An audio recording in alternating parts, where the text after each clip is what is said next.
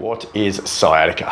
Now stick around through this video, I want to talk to you about some of the misconceptions around sciatica.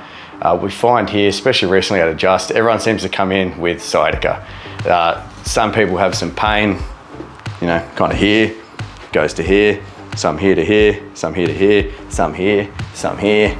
Some actually refers upwards. So everyone seems to have sciatica and it happens to be everywhere. So let me talk to you and show you what sciatica actually is. So now sciatica actually refers to the sciatic nerve, which comes out of the lower spine. So the sciatic nerve, it's, it's thick, it's the size of your thumb, it travels out of your lower spine. So come over to this model and have a look. We've got uh, L4, L5 in the sacrum. Now, if we zoom in, you can see we've got this big thick thing here. That's your sciatic nerve. It comes down through that's your buttock region, comes down through there.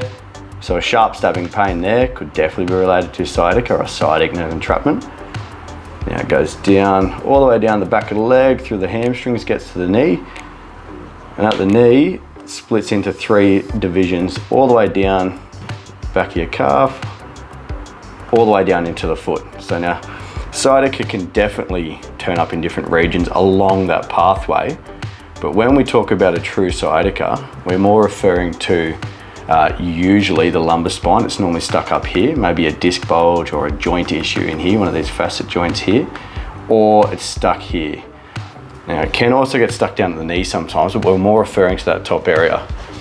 So a true sciatica, we're talking about sharp pain shooting down the leg in that kind of that same pattern all the way down.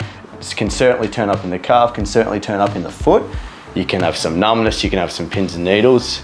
Um, it's definitely manageable. So if you're experiencing this, please get in touch with us and come in and see us. There's a ton of different things we can do to help free up that nerve.